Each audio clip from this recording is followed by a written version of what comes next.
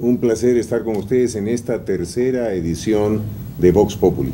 La semana pasada sugerimos algunos nombres como posibles peruanos del año, ya que estamos cerca de concluir el año 2008.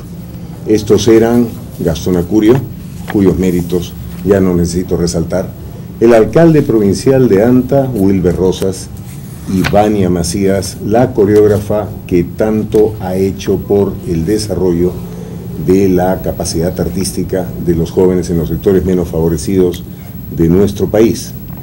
A, dos de ellos los tendremos hoy en el programa. y nos acompañará también la rectora de la Universidad Peruana Cayetano Heredia, que constituye también un modelo de una peruana absolutamente comprometida con el presente y con el futuro de nuestro país. El mail de nuestro programa voxpopuli.rbctelevisión.com está en sus pantallas, tomen nota, aquí tenemos una laptop advance muy eficiente, con lo cual podremos acumular sus comentarios acerca de qué piensan ustedes, quién debe ser el personaje de este año. Aquí hay uno que nos acompaña hoy y que seguramente es un candidato de Polenda, me refiero al alcalde provincial de Anta, una importantísima provincia de Cusco, del departamento de Cusco, de la región de Cusco. Bienvenido, alcalde Wilber Rosas, un placer tenerte en Vox Populi. Bueno, ante todo, muchas gracias por esta oportunidad eh, de estar en Vox Populi. Eh, y también decirle que muy agradecido por la propuesta que se hace yo creo que como yo existen miles en el país, eh, gente que, que, por ejemplo, estas mujeres valiosas de los comedores populares que llenan la olla haciendo milagros, se puede decir, pero que con su valor y con su inteligencia hacen posible de que este país, los hijos de este país puedan estar alimentados, o los productores agrarios, ¿no? que se enfrentan cada día a cada una de las eh, inclemencias, tanto de clima, pero fundamentalmente a las inclemencias económicas de nuestro país y que, no, y que así alimentan este país. Sin duda, Wilber, sin duda que sí, y nos interesa dar a conocer ese tipo de experiencias. Pero se preguntarán los televidentes por qué algunos peruanos hemos pensado en ti como hombre del año o como un precandidato, de modo que los televidentes en las diversas partes de nuestro país puedan opinar sobre las condiciones de cada cual. Y se preguntarán, digo, ¿por qué? En nuestro país hay cerca de 200 provincias, tú eres alcalde de una de ellas, pero de una u otra forma tu trabajo tiene que ver con la organización de la participación ciudadana en la gestión municipal. Brevemente nos puedes contar cómo es que lograste eh, estructurar ese tipo de acción social que te permite compartir con tu propio pueblo la toma de decisiones municipales? Sí, yo creo que yo fui alcalde de un distrito de la provincia de Anta llamado Limatambo. Donde fuiste reelegido varias veces. Donde fui reelegido varias veces eh, y ahí nació lo que ahora se conoce como el presupuesto participativo rural, ¿no? Sí. Eh, esto fue frente a una situación de pobreza, de carestía, de no presencia del Estado, la única presencia del Estado que se veía en estos pueblos, y no solamente en este, sino en muchos pueblos del interior y en el interior andino y rural, es la presencia del Estado, pero en su cara coercitiva, ¿no? Eh, el Ministerio del Interior con la policía. Y la SUNAT probablemente eh, cobrando impuestos. Y desde luego, y también el Poder Judicial, ¿no? ahí donde se ve la cara más fea de esto. Y bueno, en momentos muy difíciles también nació esta propuesta cuando mm, eh, la guerra interna... ¿Y cómo así lograste eh, ponerla en marcha? ¿Cómo fue la ejecución de eso? ¿Cómo es que se organiza la sociedad? Esta es una idea colectiva. Eh, ¿Por qué? Porque en estos pueblos la gente siempre ha puesto mucho de lo suyo, ¿no? Para construir una carretera eh, no eran, no era ningún ministerio ni de transportes ni de edad el que construía, sino era la propia gente que con su esfuerzo y con su valor construía sus propias vías. eso le va a recordar a, muchos de los que nos están viendo en este momento una de las tesis del expresidente Belaúnde.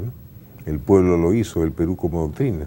Claro, pero este pueblo lo hacía sin, sin la intervención del Estado. O sea, por ejemplo, cuando vamos, eh, teníamos ya las escuelas hechas con las paredes y puesto el techo, lo único que hacía el Estado era poner unas cuantas puertas y los acabados, ¿no?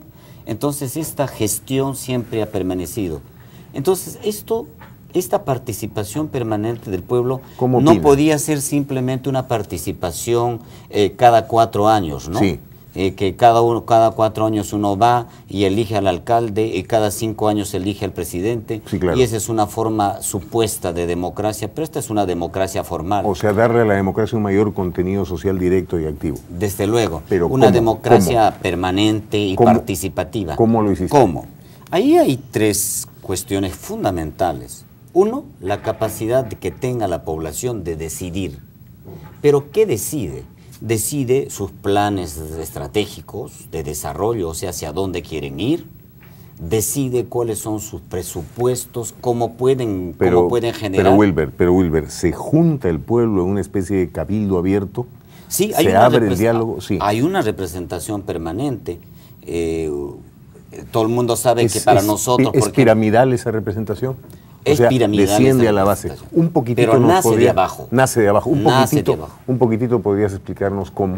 Porque resulta que una provincia como Anta, aquí a Lima, eh, le está dando también un ejemplo, porque personalmente donde yo vivo nunca he sido convocado por un alcalde y, en realidad no, no sucede que nuestros alcaldes distritales nos convoquen para dar una opinión o para compartir con nosotros algo sobre la ejecución de las obras. Cada, cada una de las comunidades, porque nuestro núcleo, nuestro núcleo básico de organización es la comunidad campesina, esa que fue la AILU, ¿no? Sí. Esta tiene su representación y de manera equitativa, tres hombres, tres mujeres, ¿no? Y participan en una asamblea, y no solamente las comunidades, sino también la parte urbana con su sector barrial, también hacen en el mismo número, y estos participan de manera colectiva en las decisiones de que cómo, eh, cómo utilizar el dinero, ¿no es cierto? Eh, de qué forma, qué cosas se discute ahí. Pero esa es una decisión no solamente de fondos económicos, sino también la decisión de cómo crear esos instrumentos de gobierno, por ejemplo, los planes eh, de desarrollo, los planes operativos. Y la ejecución del gasto, la fiscalización del gasto. Y la ejecución y la fiscalización permanente mediante los comités de gestión que ven cómo se va desarrollando el gasto. De acuerdo, pero tú has sido elegido con el voto popular, entonces la tendencia de cualquier autoridad es simplemente decir yo fui elegido y entonces yo soy autoridad y yo gobierno si tú compartes la toma de decisiones con el pueblo, ¿cómo has hecho para ceder parte de tu poder? Es que no hay mejor autoridad que la autoridad que gobierna con el mandato de su pueblo. Ah, hay una eh. forma de ser autoridad, hay una forma de ser autoridad por haciendo de que eh, yo soy autoridad pero obedeciendo la voluntad de mi pueblo. Pero la voluntad del pueblo no es un simple voluntarismo es la creación de esos instrumentos de gobierno que permite dirigir y objetivizar lo, que uno quiere. Porque muchos han dicho que el presupuesto participativo es una especie de pulverización de fondos. Claro, se convierte en polvo cuando, cuando no se tiene objetivos, cuando no se tiene metas, cuando no se tiene planes. Pero cuando existen planes muy claros en la cual no solamente conoce el alcalde y quienes gobiernan o los administrativos de un gobierno local, si no conocen la propia población, cuáles son sus ejes de desarrollo, eso es lo más importante. Pero, pero, pero,